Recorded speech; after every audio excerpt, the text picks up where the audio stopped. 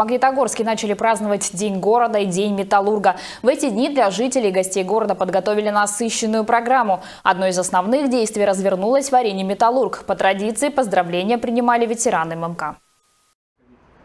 Числе почетных гостей и первые лица комбината прошлых лет. Леонид Радюкевич был директором ММК. В свое время он внес большой вклад в освоение новых технологий, модернизацию оборудования. Леонид Владимирович и сегодня следит за судьбой родного предприятия и, как и многие, ждет ввода в эксплуатацию комплекса коксовой батареи. А это значит, будет остановлено несколько старых батарей. Остановлено несколько старых батарей, это очистится воздух. Он и так сегодня в магнитке довольно чистый. Из Подмосковья в Магнитогорск приехал заслуженный металлург Вячеслав Егоров. В начале 90-х он работал в управлении ММК. Долгое время возглавлял русскую металлургическую компанию. Несколько лет был председателем Совета директоров ММК. Я 40 лет отдал коксохим, закончив Томский политех по специальности химическая технология твердого топлива.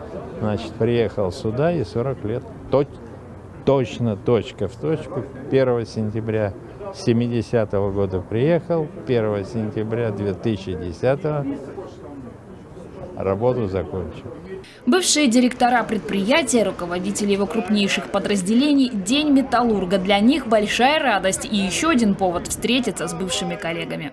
Я 40 лет отработал. 42 с половиной. 42 с половиной. Я, ну как отойти от этого, если оно уже значит, все в крови идет? Тут уже никуда не денешься. Это, это уже до конца своей жизни нести то, что ты был работник комбината, независимо от того, ты руководитель или нет. Мы основную часть своей жизни провели на комбинате, и нам не безразлично, но хозяйство на комбинате хорошо развивается, мне приятно.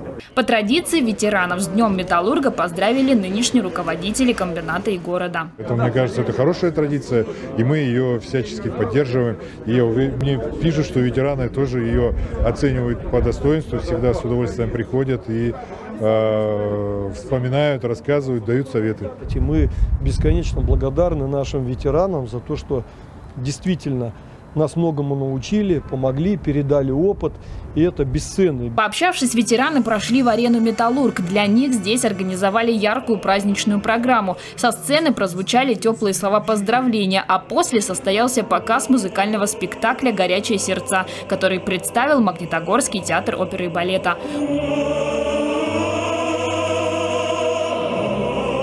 Ольга Аникина, Владислав Гусев, телекомпания ТВИ.